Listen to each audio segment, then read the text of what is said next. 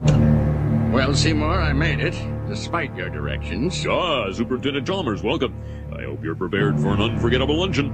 Yeah. Oh, you gods! My roast is ruined!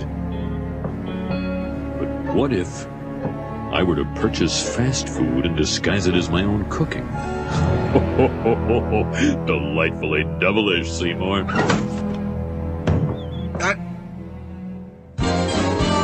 Skinner with his crazy explanations. The superintendent's gonna need his medication. When he hears Skinner's lame exaggerations, there'll be trouble in town tonight. Seymour! Superintendent, I was just, uh, stretching my calves on the windowsill. Isometric exercise. Care to join me? Why is there smoke coming out of your oven, Seymour? Uh, oh, that isn't smoke. It's steam. Steam from the steamed clams we're having. Mmm, steamed clams.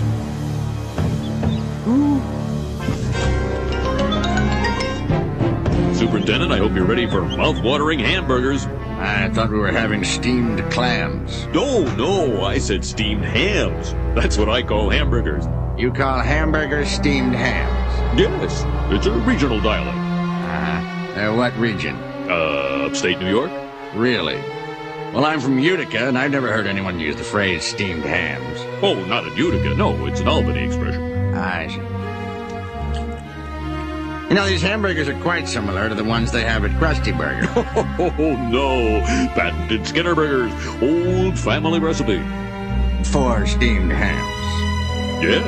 Yes, and you call them steamed hams despite the fact they are obviously grilled. Y- uh, You know,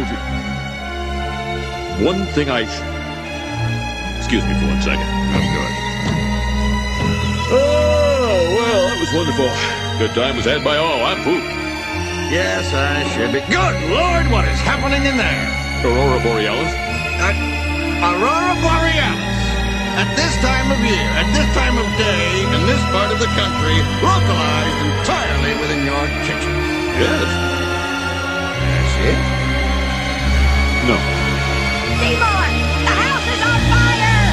No, Mother, it's just the Northern Lights. Well, Seymour, you are an odd fellow, but I must say, you steam a good ham.